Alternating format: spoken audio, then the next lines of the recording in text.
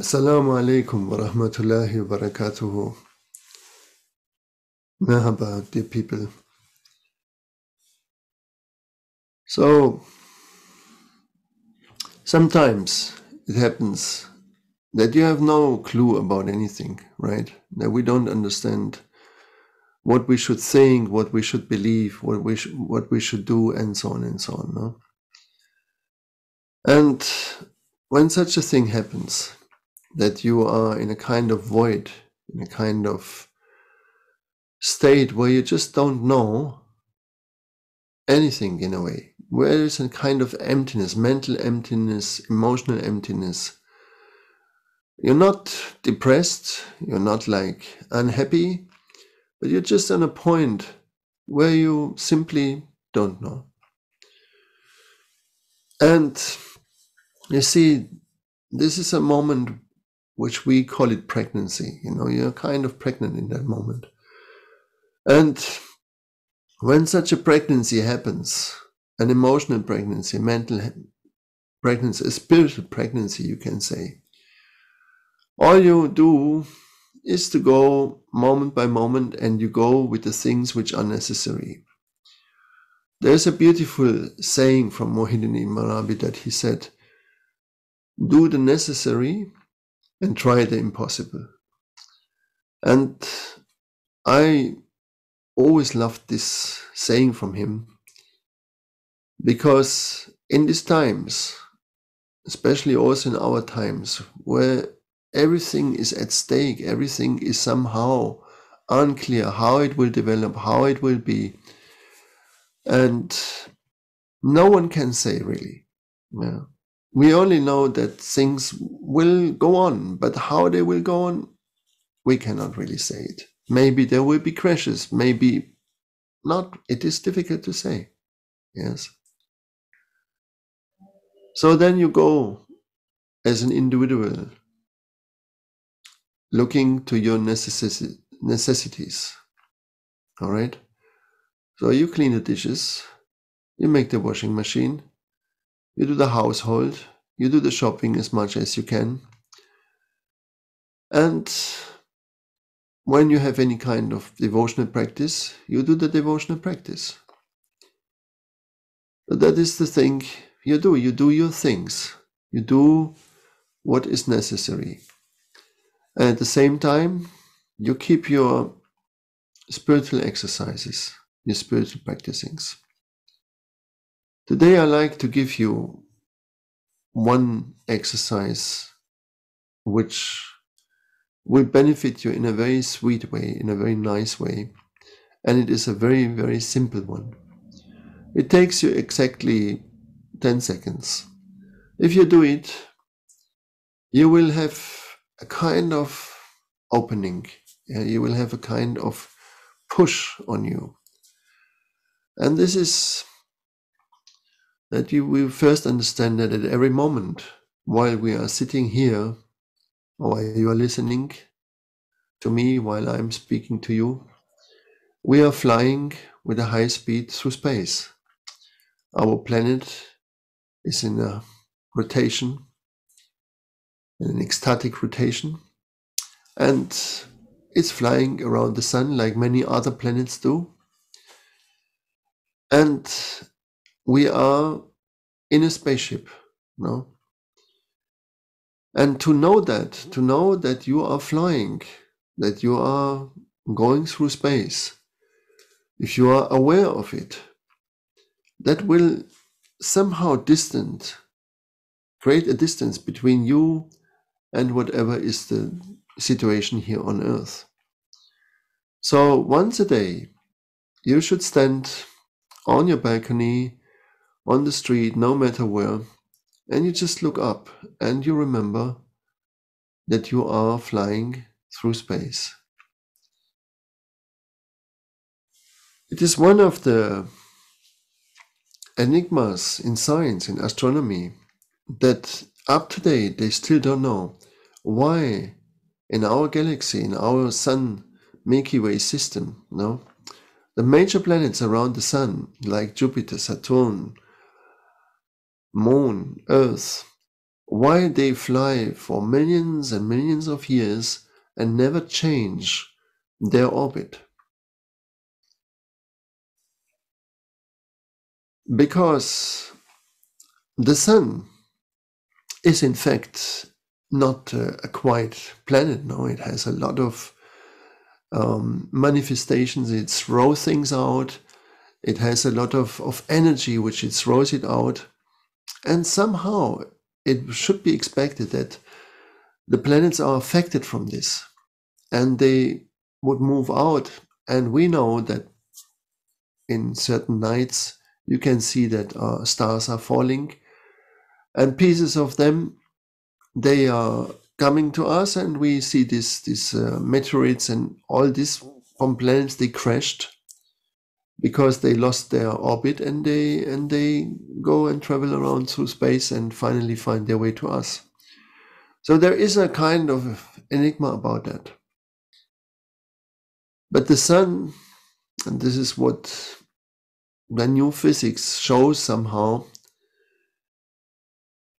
it seems that the sun has a kind of consciousness and it regulates the things for the planets, those who are around us.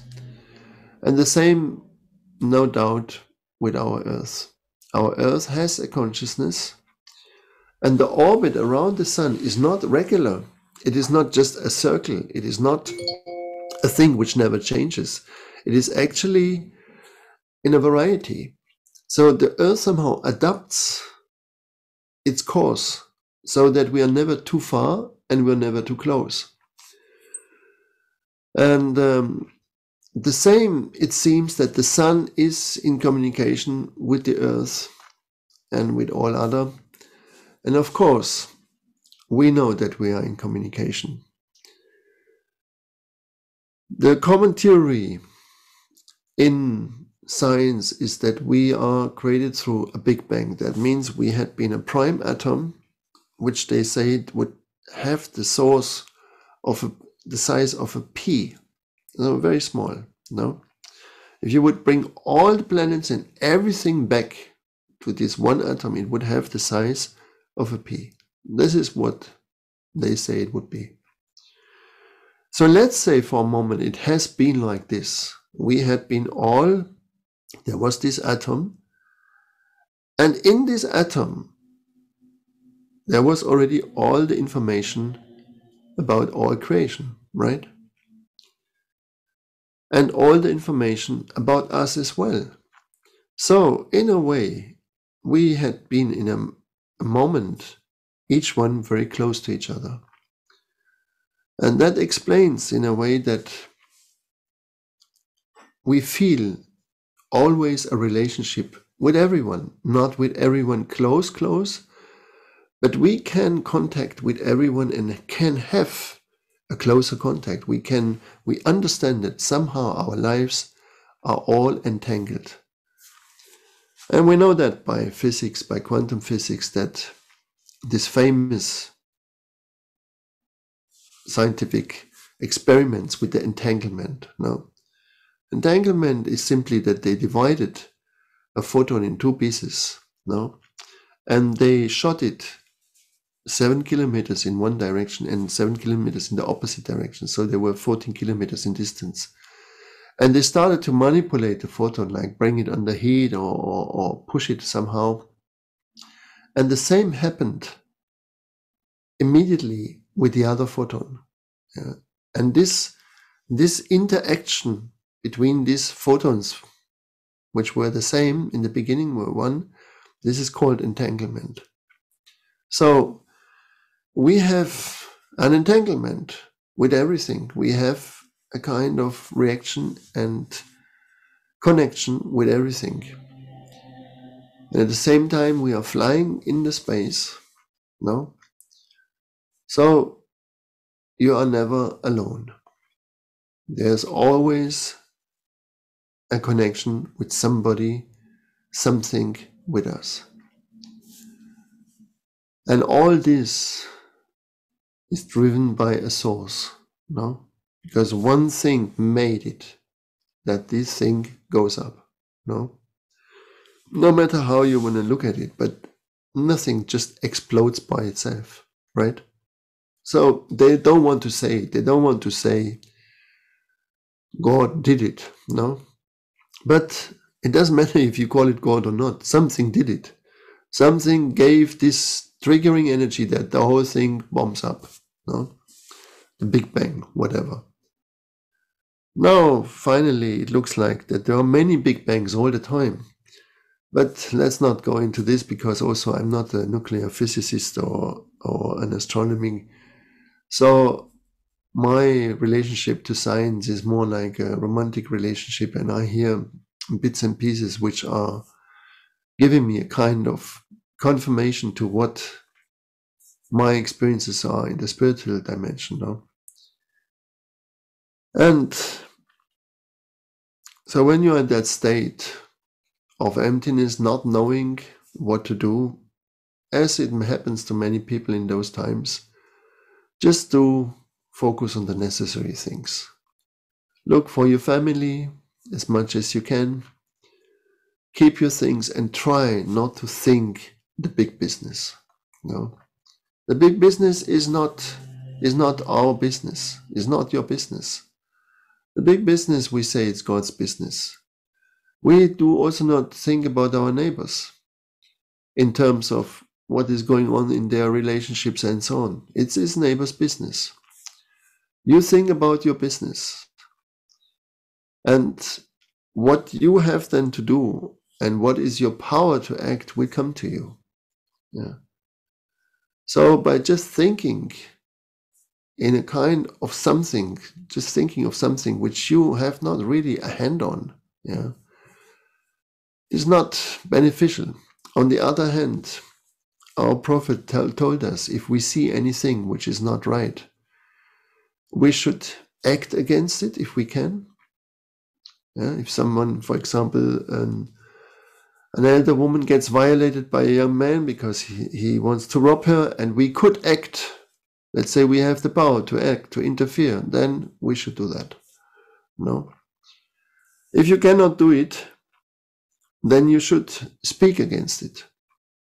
If you cannot speak against it, you should think against it. No? And against means not that you are against people in a personal way. You are against lies. You are against injustice. No?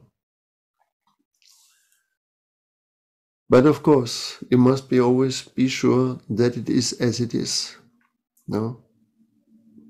So it is always a fine line.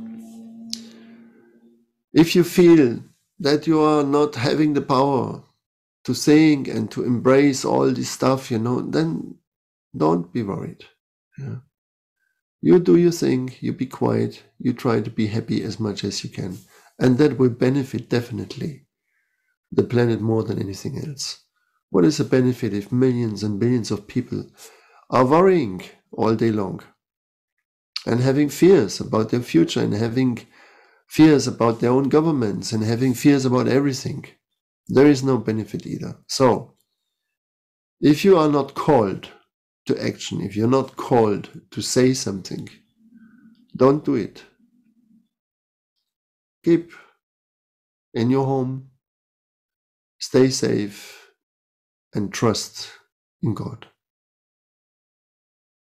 Thank you very much. I wish you very good weekend and good days. Hear you soon again. Assalamu alaikum wa rahmatullahi wa barakatuh. Blessings to all of you.